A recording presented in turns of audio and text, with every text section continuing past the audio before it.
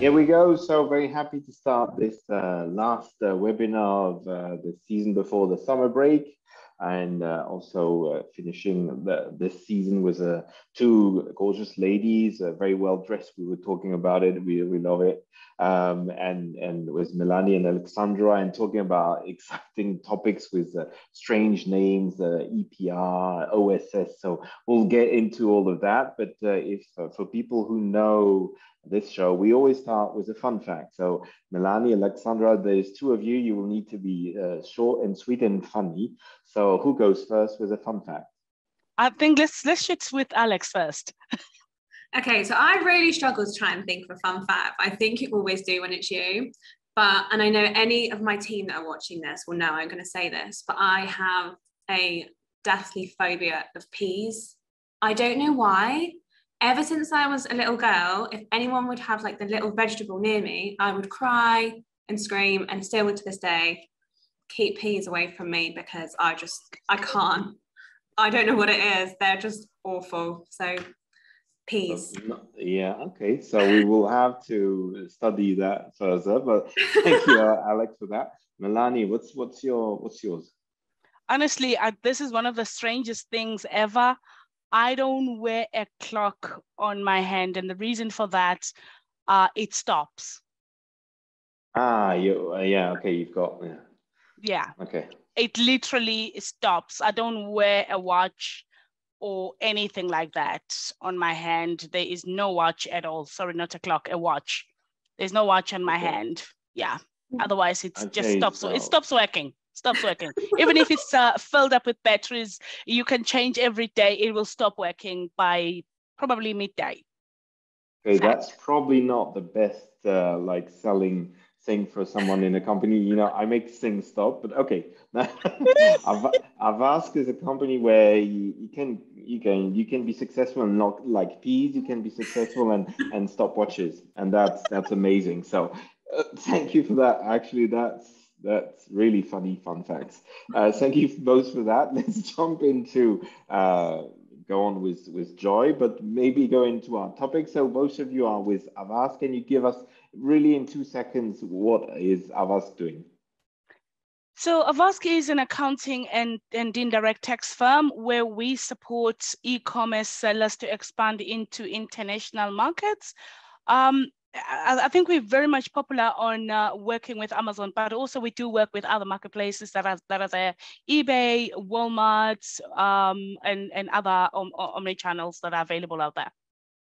Great. So thank you for that great summary. So we've got two topics today, or two key topics. One is EPR and one is OSS. Before we dive into, maybe I know each one of you's got his uh, favorite topic. So can each one of you explain what is the EPR and then what is OSS, for example?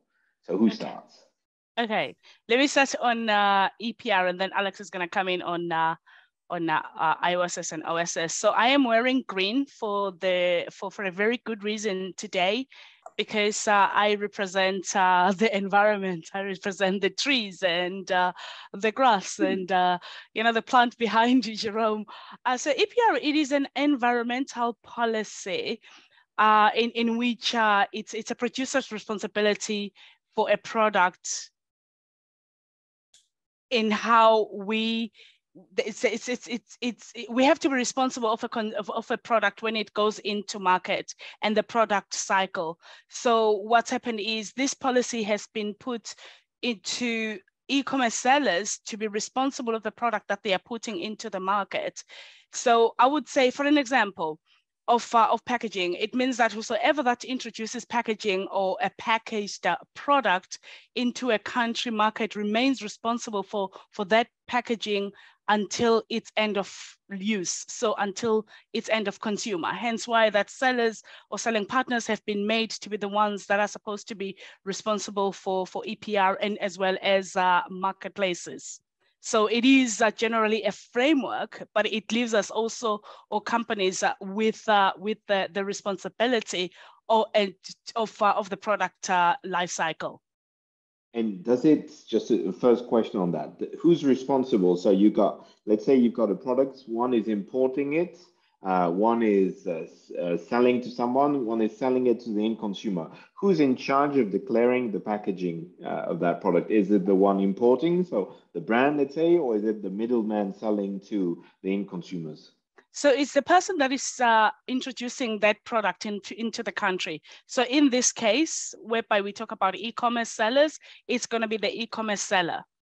And it's the, the brand when it's the brand who's importing and selling directly by himself, he has to declare to each country or to the to Europe the amount of packaging uh, he's he's selling through with his product. Is that the, correct? That's correct. And currently, we've got Sweden, which introduced uh, a chemical tax in 1988, and then we've got uh, uh, uh, Germany and France, which they've introduced uh, this year. So uh, France, that was from January, 1st of January, and then Germany introduced it on the 1st of uh, July but this is again this is something that's just not going to be stopping with these countries.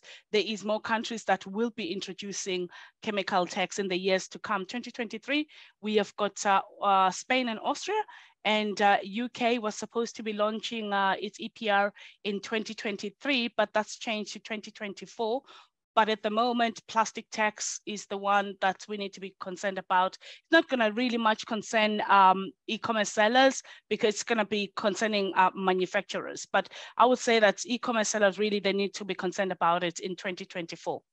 And we may actually see more and more countries introducing it throughout the, the process. Um, and I think maybe we, we, we, can talk about this and expand further that, you know, we, we shouldn't be looking this as a tax but we should be looking at it as an environmental contribution because we need to be responsible on how we produce or recycle uh, products or, or, or, plastic and uh, packaging, and also noting on the points that 14% of collected and recycled uh, packaging, uh, sorry, it's 14% of recycled and collected packaging uh, uh, glo globally. And a third of that, it goes straight into the environment.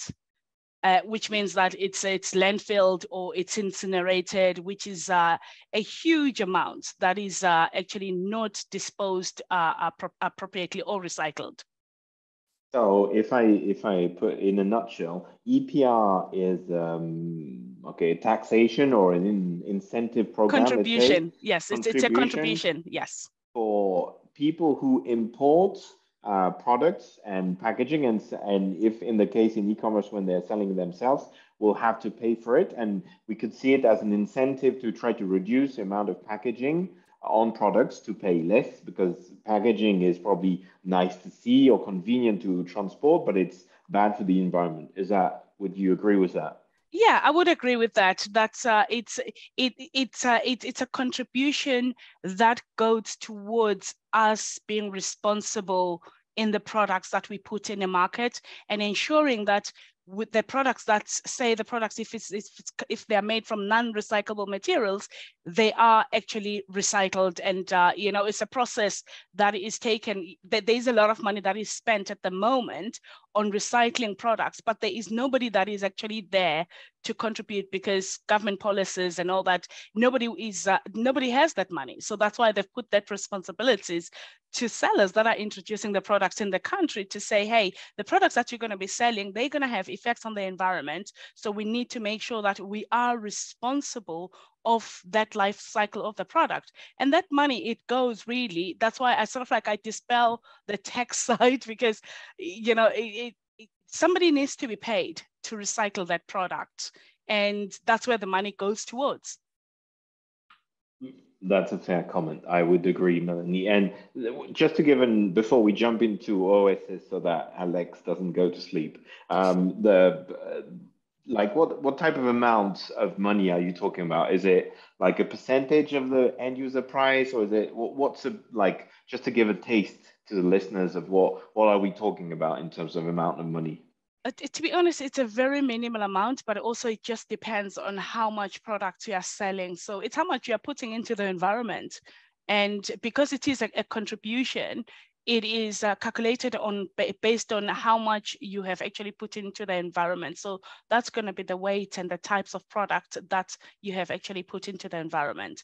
But if, if you if you ask me, probably I'll have to forfeit uh, a dinner for for for one month. Uh, if if I go out every month out for dinner, um, I'll, I'll, have to forfeit just one dinner, one meal out with the family to contribute towards the environment. And I think um, as uh, as humans, we we sort of like uh, think about the fact that we have done already enough damage to this uh, planet so we need to recognize that if this is a necessary solution that uh, it, it, it, to create the circular economy for packaging and uh, also aim for making sure that, you know, it doesn't just, uh, and, and I will say, Jerome, it, it's just not about the contribution. Uh, this is the, this program is going to make sellers to be aware of the products that they put in the market, the product that they sell. So which means, yes, it's okay for you to contribute something, but you need to think about probably you need to use more recycled materials now so that uh, the environment is uh, is uh, is uh, it becomes a bit uh, a safer place for your children to live in. So th th there's just more than just money that is going somewhere. I, I think we, you really we, we need to look at the life cycle of the products that you put out. And if, if uh, there's too much packaging that is going on on the product when it's packaged from, uh, say, China, probably you need to look at that fact. Maybe they they put more recycled uh, materials um, the, the, the, oceans at the moment, the amount of plastic and paper that goes into the ocean, it, it, it is quite a, a, a lot. You, we've got uh, the, the weather at the moment is up and down. Um, you know, it's, uh, it's, it's an environmental crisis that uh, we, we are in. So we definitely, I would say it, it's, we need to make sure that we solve the packaging waste pollution crisis that is currently available. Hence why more comprehensive circular economy approach is actually required in order to eliminate the packaging uh, that we know we don't need, innovate to ensure that the packaging that we need is reusable, and also we can uh, we can recycle that packaging and also circulate all the packaging we use in order to make sure that we're keeping the environment clean. So Melanie can explain you how to declare EPR, but also why EPR is a good thing. So thank you for all of that, Melanie. But let's get into a bit of OSS, which is a totally different uh, topic. Alex, can you give us a few, like, what, what is OSS? Yeah, of course. And sorry I didn't coordinate my outfit with my topic. I do feel like Melanie has really shown me up. I have no reference to my dress relating to OSS in any way whatsoever. Um, OSS was launched in July 2021 last year. Um, it came in with a few changes that came through, and it was really aimed at helping sellers and helping businesses trade across Europe. There was legislation that was changing that changed the place of supply to the arrival country as opposed to um, the, the departure country, which would have caused sellers to maybe need to register in sort of 26 odd member states. So it was really causing paperwork and, and hassle to sellers and putting them off maybe wanting to sell into Europe. So the tax offices sort of came together and came up with the OSS solution, which allowed you to trade into all the different EU member states um, and declare that into a one a one VAT return if, if they were distance sales. There is obviously disclaimers and, and things to look at for anyone that is looking to use the OSS scheme. Um, and there's always particular circumstances. So make sure you have a business review before you sort of look at it and think, okay, I can do one VAT return. That's fantastic. There are obviously always disclaimers and things on it, but it was aimed at one, reducing the VAT gap.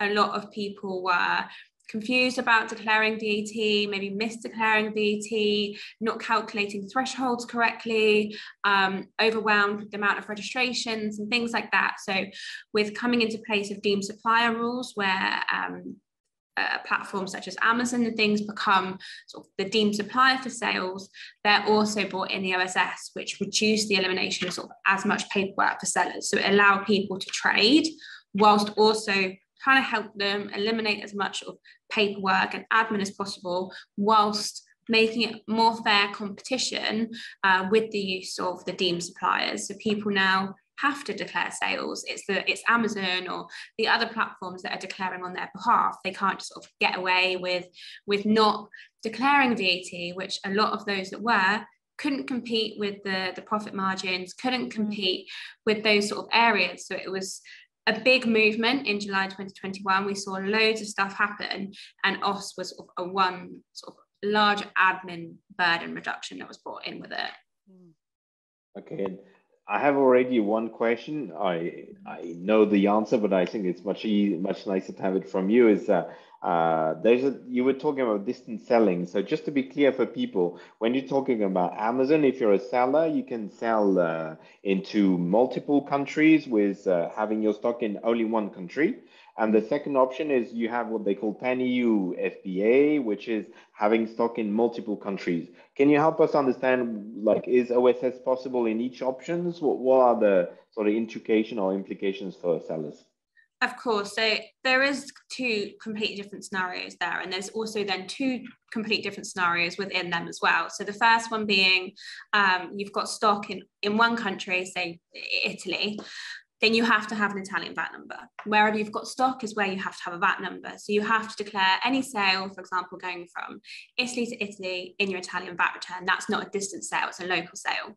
Thereafter, if you've got goods moving from, say, Italy to, to Germany, that's a distance sale from one country from one member state to a different member state so that could go in your in your OS return. Um, obviously it is subject to like incorporation where you're incorporated and things like that of where you'd be registered for OSS and how the rules apply.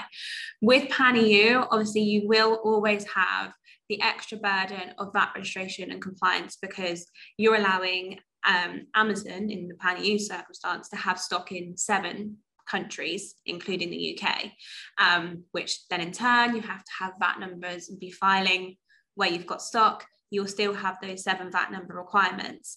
Um, and then uh, the OSS could go uh, on top of that, um, for example. But if you're selling on, on websites that maybe don't have the PAN EU, um, OS is a great situation where you could be selling a, a, large amount of countries and just be submitting those in the one VAT return if your business meets the requirements.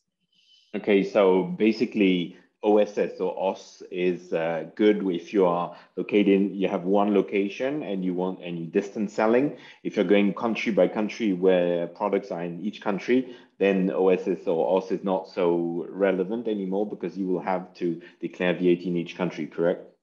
Uh, kind of. Um, in, it, it can vary. So, for example, if you've got stock in seven countries, you could still be shipping from Poland to, to Germany. Uh, it, just because it's stored in Poland doesn't mean it's necessarily going to go to a Polish seller. So, OS comes into the equation in a lot of circumstances, not all circumstances. So, it does completely depend on your business model. Are Amazon the deemed or other websites the deemed supplier for all of your sales? Therefore, you don't need OS. Or are you um, EFN? Are you PanEU? Are you um, selling on multiple marketplaces? So it's a real business structure, deep dive on whether it would be relevant and beneficial to your company to have it. But for those where it is, it's a massive, massive benefit because um, you could see a company have to register in 26 member states yeah. to sell. Yeah. Yeah, so it's really something you have to look into, and uh, usually you say there's a, a big benefit. So, uh, can you quantify, uh, or do you have examples of, you know, what kind of benefits? Is it, you know, in terms of money or, or amount of work? What's the main benefits of, of uh, that solution? Of course, I think it's largely money and administration. Um, if you're looking at, let's take a, uh, case scenario. You, you're uh, an Italian registered company, you've got stock in Italy, but you're shipping completely across the world, then if you were shipping completely across the world, you would need VAT numbers and you'd need to be filing in any country where you have a good arrive. So if you've got one good to go into Denmark, for example, you need VAT registration and compliance in Denmark. So the amount of money that would obviously cause you to have to get VAT registered and file in every single country you send to is a massive amount of money thousands, tens of thousands of uh, pounds to do that sort of uh, task, as well as then the admin of having to calculate a lot of VAT returns um, and complete the documents for a lot of registrations. Um, if you do the OS structure, if your business is applicable, you need one OS number and your Italian uh, incorporation VAT number, for example, and all of those sales um, that are distance sales be put into one return uh, compared to a lot, lot, lot more. I think you're on mute. I am on mute. How uh, you know, so many years after using Zoom. Um, it's like I get the the benefits like in terms of time and also time in spending of uh, like paying someone maybe to do the return. Avask it's great to do that by the way, but it's you might save a bit of money by not doing it. Now I have another question. Let's say I'm a seller. I've got I'm using pan-EU FBA, so I'm selling mostly from like local selling. So I have VAT numbers in every countries. Now, like you said, it can happen that I have stock in France, but sometime at some point there's a situation which is out of stock and Amazon decides to sell directly from Germany, from France to Germany, for example, let's say. Uh, in this situation, would you recommend to have an OSS uh, like uh, open OSS. In this case, where do you open it? You have you choose one of the countries. What, what's your so what's the best practice here? So the answer to that question is there's two answers. One, it depends on where you're incorporated. So first thing, if you're a non-EU company, that structure is a lot easier for you. You're a US entity and you're selling only on Amazon Pan EU. Now, Amazon are the deemed supplier for any of your European sales as you're not a European entity. Therefore, if you are making a sale from uh, Poland to Germany, it is actually uh, Amazon or whoever's considered an OMP, wherever you're selling, that are considered the deemed supplier for a distance sale. So all of your sales, you are not the deemed supplier for any distance sales. So you can trade completely fine just having the VAT numbers when you're where you're storing goods because all the distance sales are for Amazon to declare or um, Shopify or whoever you're selling on. Um, so OS wouldn't come into the equation. But if you are an EU seller, you don't benefit from Amazon collecting and remitting your sales in Europe, which is where OS would be really beneficial for you because mm. you've got your stock in sort of seven countries there, all those sales are being fulfilled, and you're making a massive amount of distance sales, which aren't considered uh, Amazon as a deemed supplier for Pan EU, which is where OS would be beneficial. Um, so you could have goods from Poland to France, France to Italy, etc. So it's the EU entities that would really benefit in this scenario. Um, and then with an EU entity, you have to register for OS in your incorporation country. So if you're um, an Italian company, you have to get registered for Italian OS. So you'd have an Italian VAT number and an Italian OS VAT number um, that's sort of how you've always got to think of where you're incorporated and then the business structure that would apply. And one question to what you said is when it's a US or uh, let's say, you know, from Japan, wherever, and you're selling in, in Europe, you said that Amazon becomes uh, the deemed suppliers, or uh, was it the correct wording? Correct, yes. Yeah. And does that mean that Amazon will pay the VAT in your name to the fiscal uh, authorities? Is that correct? Yes, so Amazon will collect and remit on your behalf. So if you are Pan EU and you've got stock, for example, in Poland, it's Amazon then that are deemed supplier for customer. So Amazon are buying the good from you in Poland. So you're making a Polish to Polish sale. And then it's Amazon that then do the Poland to Italy transaction, which is why, as they're the deemed supplier, so for example, a European entity would benefit from the same scheme in the UK. Um, they don't benefit in Europe because that's where they're incorporated. But mm. it's it's that distance sales sector is removed because it's Amazon that make the final transaction. So all of your sales end up being local sales because you sell directly to Amazon in country. But Amazon doesn't buy your product in, in reality, right? Because it's the end consumer who's buying. So even though Amazon is not buying the product, mm. they are deemed or they are seen as the one like uh, selling the products, and therefore are liable to pay VAT back to the government. Is that correct? Yeah, so Amazon essentially are collecting it as part of the reducing the VAT gap is when the deemed supplier rules were brought into place. So for Europe, it was brought into place from July 2021. For UK, it was brought into place from January 2021 in line with Brexit. So when the when they um, are collecting remitting the VAT, it's essentially stopping maybe sellers not registering for VAT and just putting, or just registering for VAT and putting a zero on their VAT return or whatsoever. Every time you're making a transaction, uh, Amazon as a deemed supplier would recognize the VAT amount due and give that directly to the tax office when the sale was made, as opposed to it being um, the responsibility of the the seller uh, in their VAT return at the end of the month or the quarter.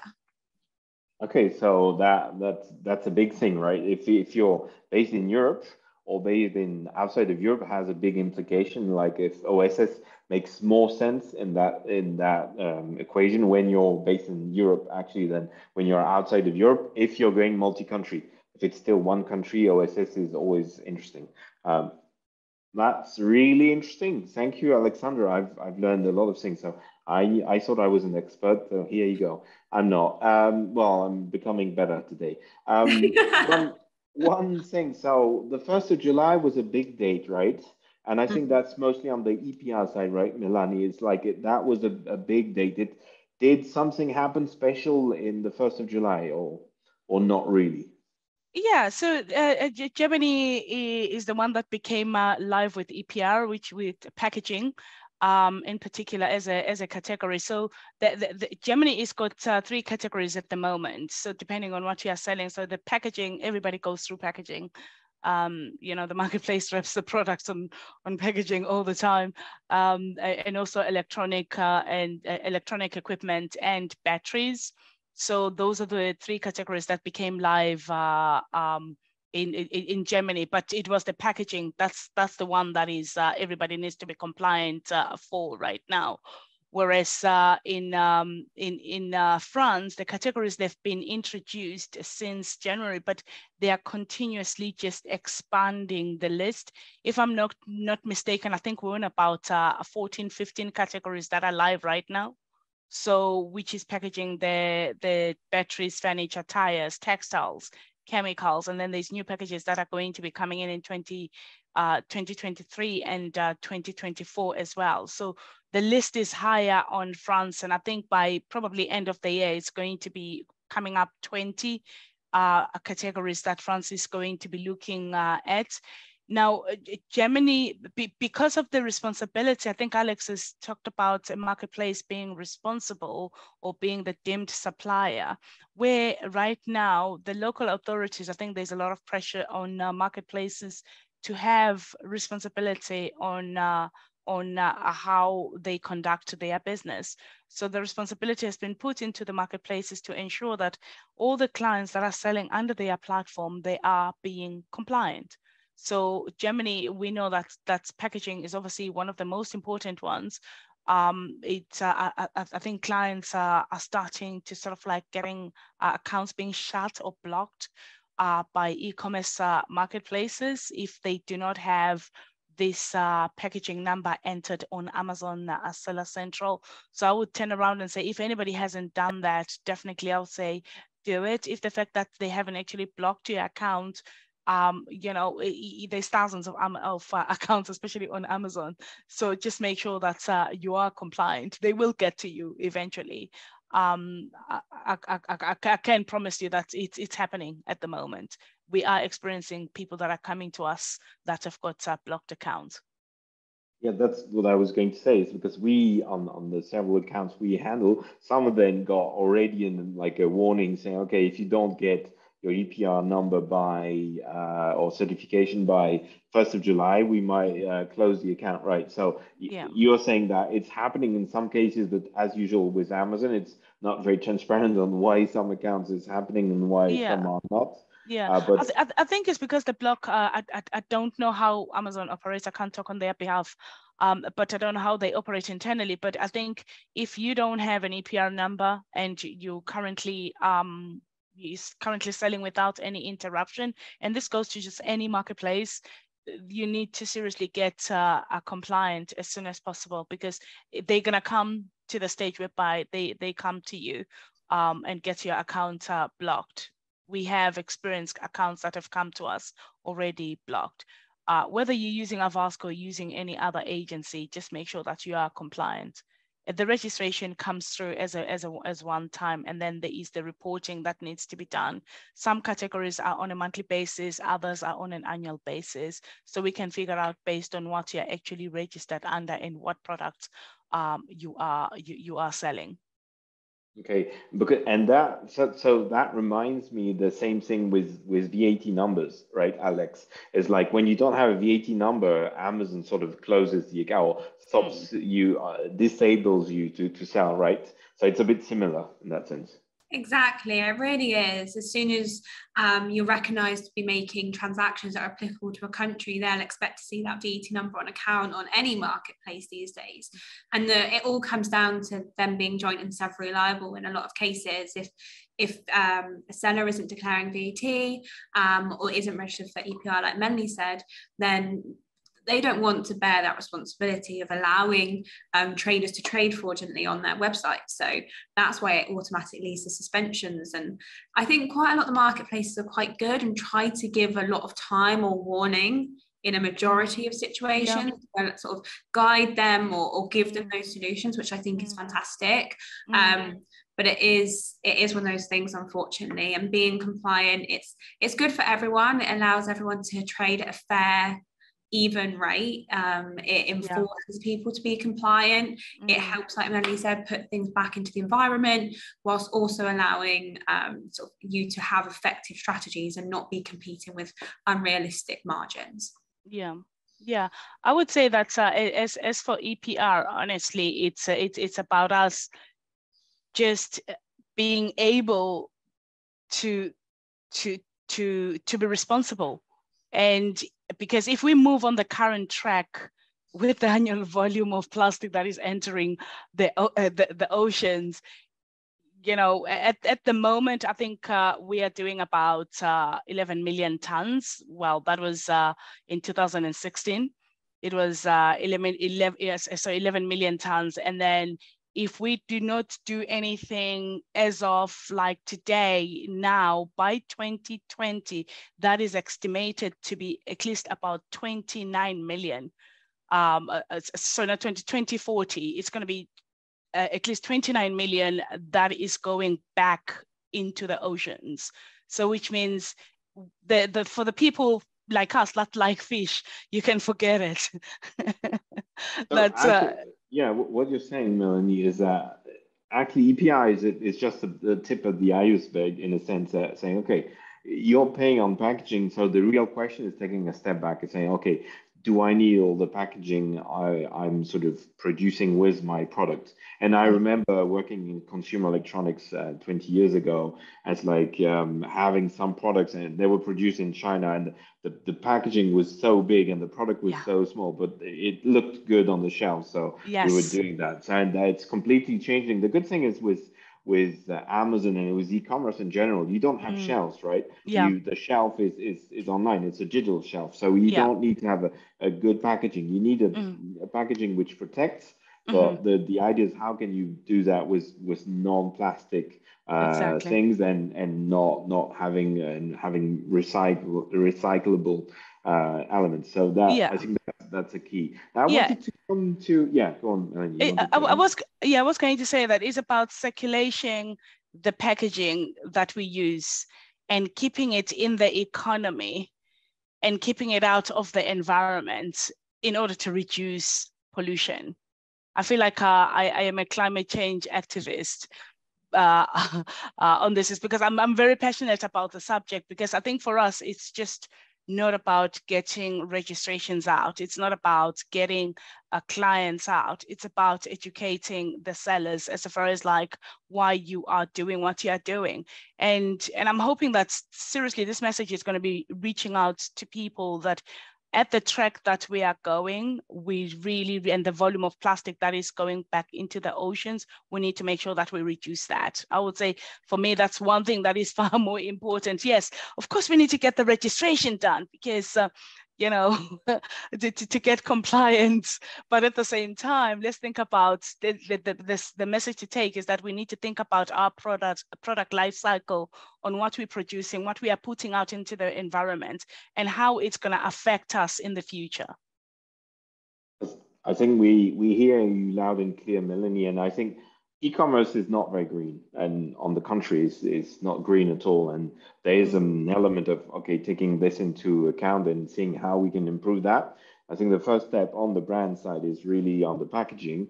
Now on the marketplaces side will be like on deliveries and that's probably the the fight or the things uh, or i'm very interested in that part also because you know, do we need a one day delivery? Do we need to have deliveries on a Sunday? Do we need to have like small parcels delivered uh, on on their own? I think there's a revolution yeah. to be uh, have uh, to be had on, on that topics. But let's mm. not go into the environment because that will drive us a bit far. I had another question for for Alex, uh, which is less political uh, and, and more down to earth. Um, the, the, the question was for uh, like we've been through one year of one stop shop and i remember i did an article at the beginning one stop shop you know the what what was the potential the good things. Like we've been through one year. You've helped a lot of companies uh, you know through that that transition.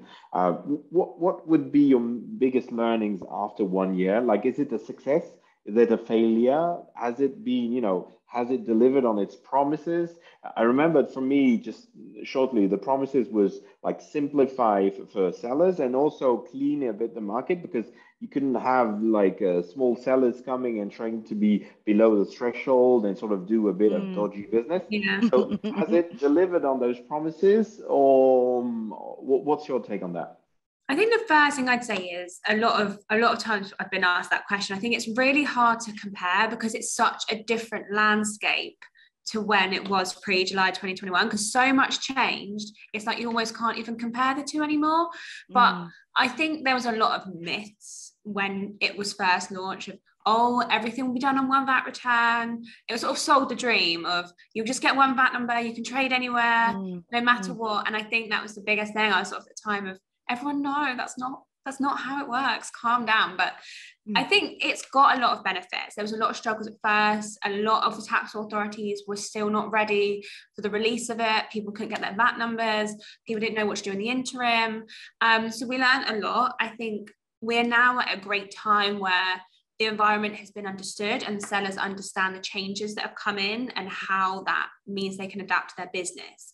Mm. I think it is really beneficial from a pan EU yeah. point of view because you've got sellers that can trade.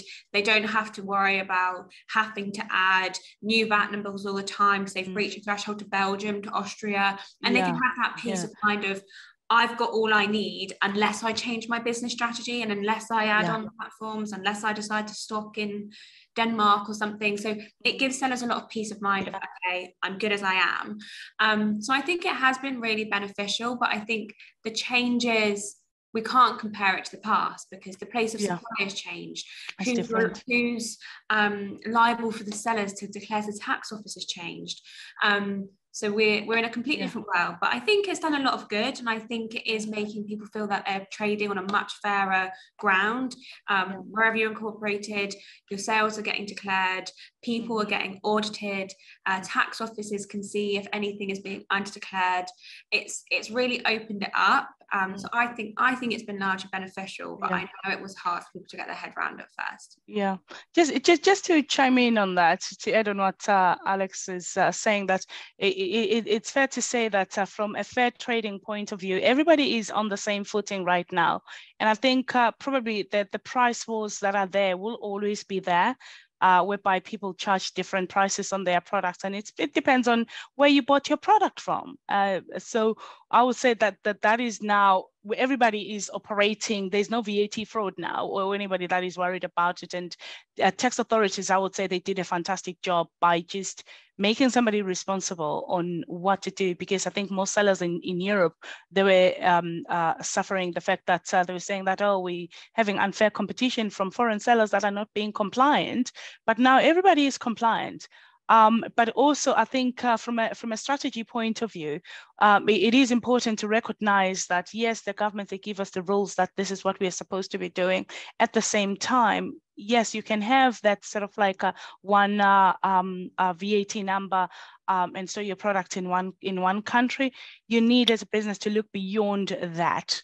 Um, we saw a lot of people deregistering um, in other countries whereby they they didn't need, but it's at the same time we we were we were happy to to not to have clients uh, registering in countries um, that they had gone over the threshold uh, or that they were going to be going over the threshold for in where we didn't have uh, access to the to that market. Um, you know, uh, uh the, the, that, that sell, sellers can sell literally in any country. So which means the product, especially from Germany, they were just going literally crazy anywhere in Europe.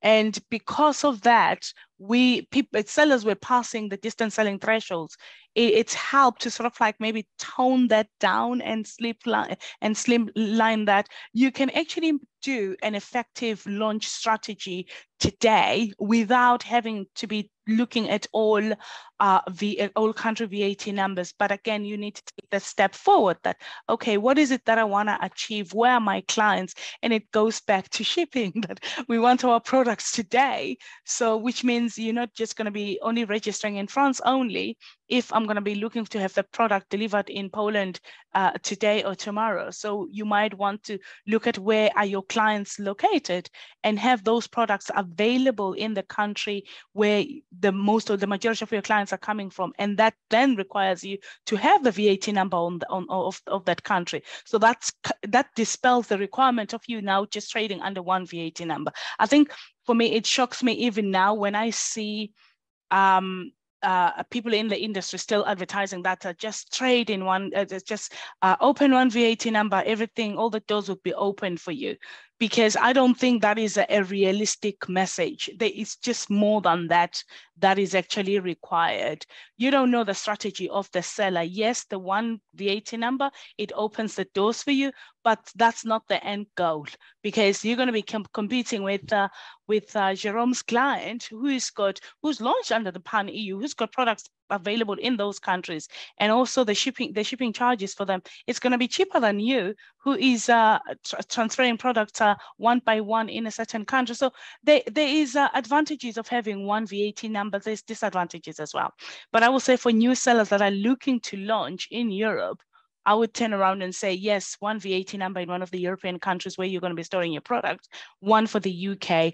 I personally would say that probably launch with uh, three VAT numbers just as a start so that you have the product sort of like scattered in the other marketplaces, even though Amazon in particular will distribute the product for you in the other marketplaces. So it's uh, it's strategy, strategy, strategy. Uh, so yeah. Love that word. So thank you very much, Melanie. So I said we would open for Q and A's, but we went so deep into our discussion that I didn't open the, the floor. So obviously, if anybody's got a question, we've got 10 minutes left, more or less. Uh, our experts on EPR and OSS will on OS uh, will, are there to respond. In the meantime, I have a, another question for you, Melanie, and waiting for the question is. Um, in EPR, so we know you said that Germany is working, France is working, and the UK should be January uh, 2024. 24, yes, yeah, that's okay. correct. You probably need a prime minister first before an EPR thing. So anyway, it's like everything in good order. So like, do you know if there's other countries coming into play or is like, if you've registered in the Germany for EPR, Will yeah. it work for the other countries? What what you what do you uh, look into your crystal ball and tell us what, what's coming up? Yeah, so uh, definitely we've got 2023 whereby we've got Spain and Austria. So those ones are going to be the next ones. Um, uh, I wouldn't be surprised that the Pan EU, the Pan EU 7 sort of like follows up very, very uh, soon, or they actually introduce something around October to say that they're going to be launching in January. But right now, we're clear that we know that we've got Spain coming up and Austria, at least in 2023. And then with 2024, we've got the UK that is going to be coming up. So, which means that's going to make uh, uh, at least five countries whereby there is uh, activity of uh, e-commerce sellers you expect the seven, like uh, the seven or eight, because uh, more Belgium is coming up also on the Amazon front. Do you think they will follow up, follow suit? yeah, That's I, I, I, think I think definitely. I think they, they will follow soon. And if you think about it, and if you look at the legislation and the policies, they, they, we we are late. We are super super late because Sweden launched in 1988. Uh, so we've been talking about these things uh, about EPR for a very long time, but I think uh, there wasn't it, it, there, there wasn't clear mandate on how it should be Im implemented. Who should be responsible exactly? Because the the amount of tax uh, apparently that we pay is not enough to cover the recycling, and that's why the responsibility now has been pushed over to the businesses or to the to, to the end, end user that are part of this product cycle So that's why we it's it's now and, and, and I would turn around and say there, there is some agencies that have been company campaigning for this for quite a long time. But it's it's good to see that something is being done. Um, and uh, th- think of it when you're going to be um, when you're going to be flying, you are asked to contribute towards uh, uh, the the environment. So I would turn around and say it, it's it's almost the same thing. This is uh, the same thing. And and for EPR, if you've if you've done it in Germany, let's say if you've you're you've done the document the declaration and so on, will you mm-hmm. need another number for each country? How does that work? Or you need one for all of Europe and you're good? How how, how is yeah. that going to work? So it's uh, each country, each country, it's got its own uh, framework or legislation on how they they do the declaration. So you will need the EPR for each and every a category that you are selling in and in that specific country. Um, so and uh, Europe has not harmonized that because again, it uh, you know the legislation comes from probably uh, Europe first, and then it brought down to the national right. level.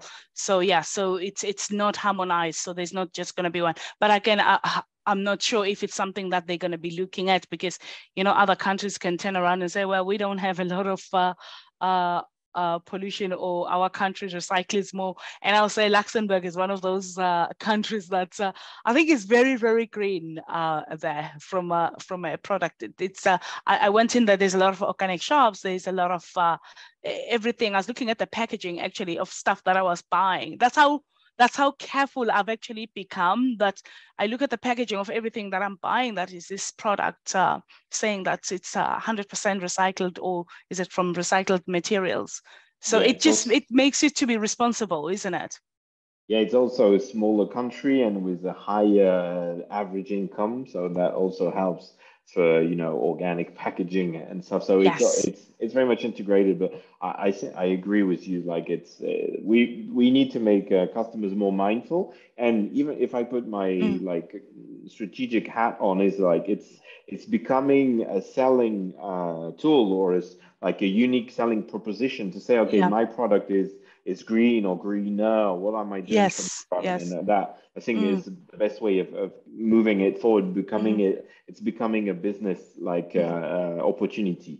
Um, just to finish within the, the last minutes, I know you had a few things on like what's coming up. Do you know in, in our ecosystem of, of uh, e-commerce and Amazon, do you do you feel like in terms of regulations or in terms of new rules or new things coming up? Do you what are the things people should be aware? I'm, I'm sure you your crystal ball will, will give us a lot of uh, uh, information. Yeah, so I, I, I, would turn around and say we've uh, we've seen the world of uh, um, aggregators uh, come in. Um, it, it's still exciting because there's still aggregators out there that are very busy uh, that we are doing work for. So that hasn't actually stopped. Um, events are back in action and they are all over the place. So I would tend, I will encourage every seller that is out there to attend these events because there is nothing better than meeting with people that are in the industry and discussing things and tips as far as like how you can uh, uh, grow uh, your, your your business. Um, they, they, there is a bit of a hint that's going on uh, that uh, the the um, the IOSS might be changed, but that is uh, in early early stages. I think there is a confusion with uh, most sellers, especially on IOSS, uh, with uh, the 150 euros and 135 pounds on goods uh, when they are being shipped from another country. So I think that legislation is going to be refined slightly, not OSS, not OSS as such, but IOSS, which is What's which is. Difference? What's the difference between IOSS and OSS? So IOSS is is it's a similar um, principle, um, yeah. but it's just for OSS. It's one EU member state to another EU member state, and then IOS is considered when it's outside of the EU into the EU. So, for mm-hmm. example, if you're doing those distance sales from the US to France, US to Germany, etc., that's when you'd use the import one-stop shop. Yeah, so that MFN. Yeah, that's M- MFN. So you're importing. So that's IOSS. It's import okay. one-stop shop. Yes. Okay, great. Any any other things you see coming in, like or uh, things people should be aware of, or you've heard about? I think one thing to definitely consider, and it's what I always talk to of all of my clients about is the advantages of coming in with shipping. We obviously saw the UK bring in PVA after Brexit. So a lot of people shipping into Europe, having to pay out import VAT, then they would offset it against their VAT due on sales or maybe wait for uh, credits to come through. And it was causing a lot of cash flow issues for sellers selling um, cross border. Um, so from the 1st of January 2021, we saw um, PVA be introduced in the UK, which eliminated um, so postpone VAT accounting. I saw your expression there, Jerome. I knew I needed to uh, break it down. Um, so uh, PVA use, which meant that the import VAT was no longer a monetary transaction. It was just a paper transaction of here's the import VAT, you don't pay it out. Uh, France then introduced that um, same scheme um, in the on the 1st of January 2022. Um, so I think we should see a lot of other countries follow suit on mm. that. At the end of the day, it causes the tax offices more burden. They're having to process loads of credits that they could do without because the sellers are paying it and then they're giving it back. Um, so it's better for sellers cash flow as well as better for tax office administration. So I'm hoping we'll see a few other countries pick up on the trend and get involved with a similar scheme as well. Yeah. Yeah. And that's UK, UK and France. And France. basically that means you don't need to go to a bonded warehouse. You could be in a normal warehouse and not pay the VAT upfront. Is that correct? Correct. So it just becomes a paper transaction. Uh, you know, the money never exchanges hands. You don't have to wait for all these credits back. Mm. Yeah. Very nice, very nice. And I, and I will say on sh- on shipping, um, we we we've just uh, launched a pilot program um, with Amazon Transport Service. So I would say that sellers probably they need to look out on their emails, especially the ones that are they've got products uh, in Europe or, or already or in the UK. Um, there is uh, a promotion that is going on with Amazon um, where we are the customs agents and uh, you pay it's it's a parcel promotion. I'm hoping that, uh, fingers crossed, a, a, peloton is going to be coming through uh, in the coming in, in in the coming months. So, which means, but Jerome, just sort of just to take a bit of a step back, you would be surprised that even on these days, there's sellers that cannot sell in Europe or that are finding it difficult to ship into Europe or in, in into the UK um, it's still happening today. My last caller before I actually uh, jumped in was a company in London whereby they stopped their trading when uh, Brexit happened, and um, they're now just restarting again, which is uh, good to see. But you know, there's still though people that can't sort of like trade. So it'd be good for just businesses to just go back and uh, and and start trading again and checking your emails and seeing what's available online. I think uh, some people sort of like make gets annoyed that there's too many emails that are coming through via their Amazon inbox. But uh, look at those emails because sometimes they are really, really handy and if you, you might be invited into those promotion. We're also uh, launching, uh, we've got a pilot program at the moment going with uh, UPS, which is almost the same as Amazon Transport uh, Service. Again, again, that's going to be run uh, between uh, Avask, Amazon, and UPS. So again, I would say people just keep on checking on your inboxes because there's quite a lot of uh, stimulus projects that are there that's uh, sort of like trying to get sellers going again and uh, starting to trade. Yeah. Great. So that's a great uh, ending and, and opening for people like it's actually only a consulting gig to know which you know which emails you should read and not read from Amazon. It's a it's a full job, full time job already. but some emails are very important, so you, you need to listen to that. Uh, stay tuned on on those news. There's a, there was a question from Shauna. I'm keeping it as a sort of a closing. It's more. I think it's more of an idea than a question. Is like, is there any award prize campaign to showcase a greener companies and which have duly registered and are paying mm-hmm. and are making efforts. I think that would be a yeah. great thing to develop to give a, a, like make a marketing effort to like give a prize to companies which are greener and that yeah. they could be able to use. But that's I will leave us with the thought. Thank you yeah. very much, Melanie. Thank you very much, Alexandra. Thank you very much, everyone. Have a great evening, and we'll see you on the other side of the summer. Thank, Thank you. you. Thank you so much. Thank you for Thank holding you. us, Jerome. Thank you. Pleasure. Bye bye. Take care. Take care. Bye bye. Bye.